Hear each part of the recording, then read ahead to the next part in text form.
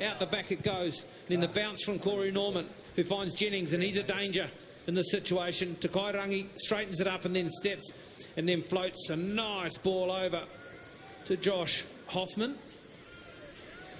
All he had to do was pretty much catch